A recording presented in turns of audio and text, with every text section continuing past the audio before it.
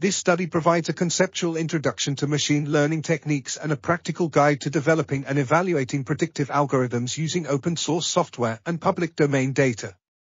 The authors demonstrate the use of three machine learning algorithms, including regularized general linear model regression, GLMs, support vector machines, SVMs, with a radial basis function kernel, and single-layer artificial neural networks, to develop predictive models for cancer diagnosis using descriptions of nuclei sampled from breast masses.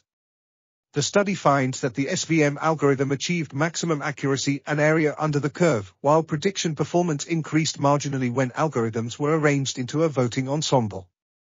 Overall, this study provides a useful resource for clinicians and medical researchers looking to apply machine learning techniques to complex tasks such as natural language processing and image recognition. This article was authored by Jenni A. M. Sidey-Gibbons and Chris J. Sidey-Gibbons. We are RTCL.TV, links in the description below.